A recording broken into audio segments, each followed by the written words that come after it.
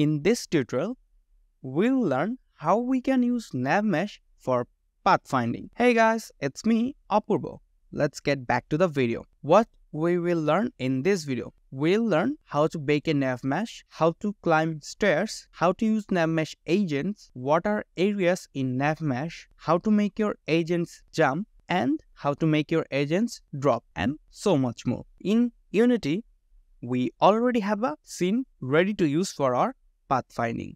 I just have a capsule called player, a ground, and two cubes for our obstacles. So now let's open our navigation window or our nav mesh window. So in order to open the nav mesh or navigation window, we need to go to the window, AI, and navigation. Now, as you can see, it opens a window. We'll select the bake option and click on bake. But as you can see, nothing happens because in order for the nav mesh to bake a nav mesh surface, we need to mark the object as static. So how do we do that? Let's select our ground and go back to our inspector and as you can see right beside the name we have a checkbox called static and I'm just gonna tick that. So after marking the ground as static I'm, go I'm gonna move back to navigation window and hit on bake. As you can see it bakes our navigation. And we can identify that by this bluish color on our ground. But as you can see none of the obstacles are cut out. So if i move the player it's just gonna go right through the obstacles. And that's because the obstacles aren't marked as static. So i'm just gonna select both of the obstacles and mark them as static and rebake our navigation mesh. And as you can see as soon as i do that there are some holes cut out for the obstacles now we have a some sort of nav mesh surface going on. Now let's make our agent to go with it. So I'm just to select my player and I'm to add a nav mesh agent component. In order to move in our nav mesh, I already have a script ready. So I'm just to open that script and as you can see, it's nothing complicated. It's pretty simple. I'm using the nav mesh. So I'm to import the unity engine.ai library and then I have a reference to my nav mesh agent and a transform point. And in the start, I'm getting the nav mesh agent from the attached component. And then in the update, I'm just setting the destination of our nav mesh agent to the point's position. So let's select our player and add the nav mesh script to our player. And as you can see, now I need a point transform. So I already have a point transform ready. So I'm just going to enable it. And as you can see it's nothing complicated. It's just a circle with a smaller radius. And i'm just going to drag and drop it in our navmesh script. And then i'm going to hit play and move to our scene view. And as you can see if i move the point the agent correctly moves to that point's location. And if I move it behind the obstacle, as you can see, it avoids the obstacle and goes around it.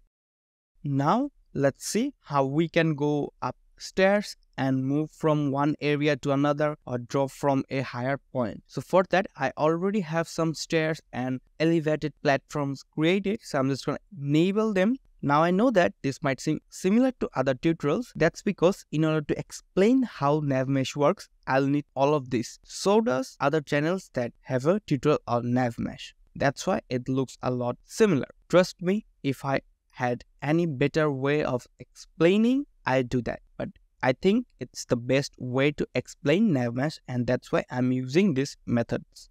As you can see, because we have new obstacles or objects in our scene, we need to rebake our NavMesh. For that, let's just mark all our objects as static. Since I have all of my ground objects or my obstacles under the environment empty game object, I'm just gonna select the environment and mark it as static and select yes, change children to apply the changes to all of the children's. Now that everything is marked as static, let's go to our navigation window and hit bake again.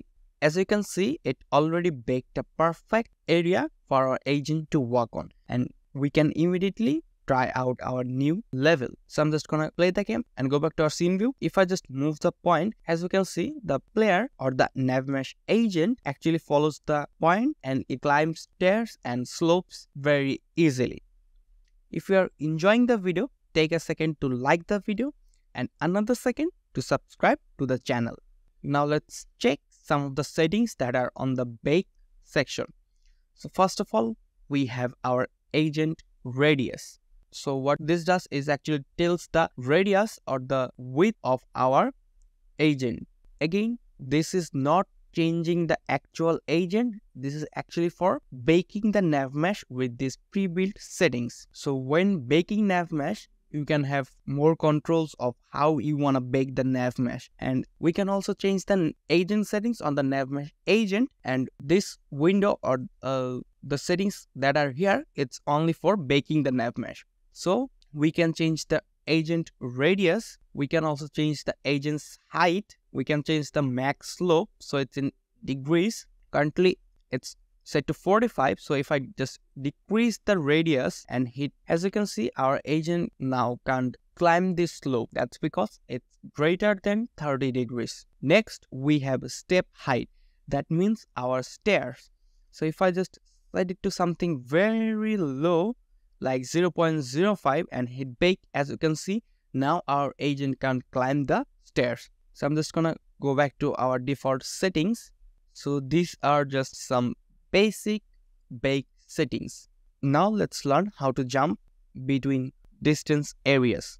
So what do I mean by that? As you can see, I have a platform here that's disconnected from our nav mesh. We can only go to that area from here to there, but currently our agent can't jump. So how do you fix that? As you can see, in the bake settings, we have under the section generate off mesh links, we have drop height and jump distance. We'll focus on the drop height later, but for now, let's focus on the jump distance. Currently, it's set to 0. That means we cannot jump from any area. Let me just set it to something else like 5 and hit bake. As you can see, now there are some lines created showing that you can jump from here to there and from there to here. Now let's play our game to see if it actually works.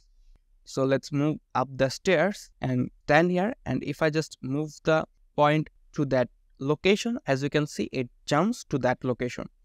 Now we can easily jump between our nav mesh baked surfaces if it's within the distance of our jump distance. Now let's check out what drop height does. It's basically the same thing as jump distance. If I wanted to jump from here to the ground, currently I cannot jump, but if I just input some value in our drop height, let's say for 5 and I play the game, move up the stairs and take the point to the ground, as you can see the agent actually drops from the platform to the ground.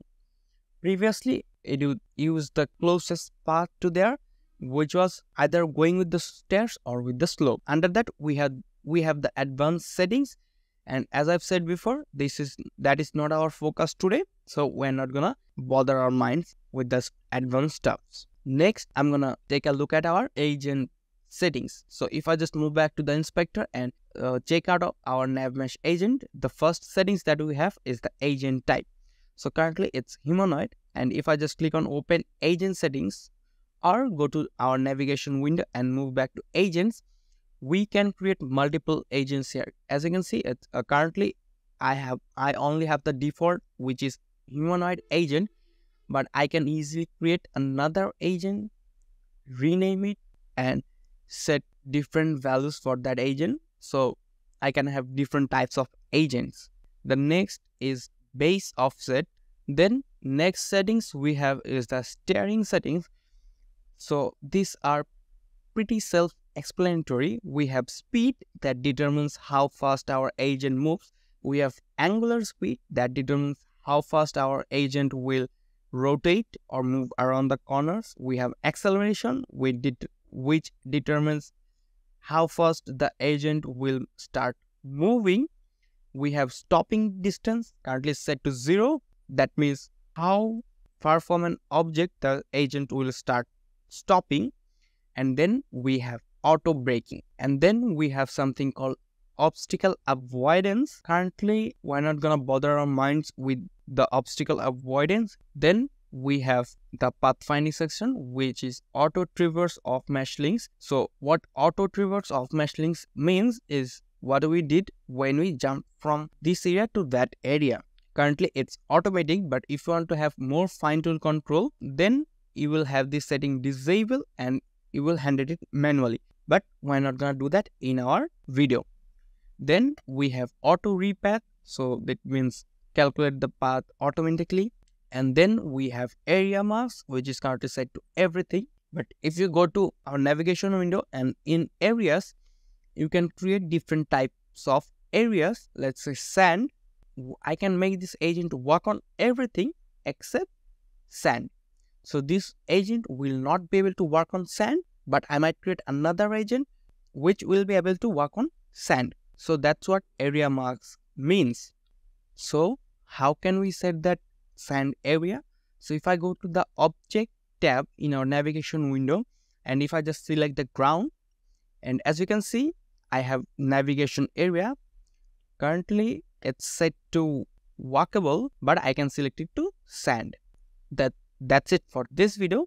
If you want to learn how to create AI for your games make sure to go and watch this video next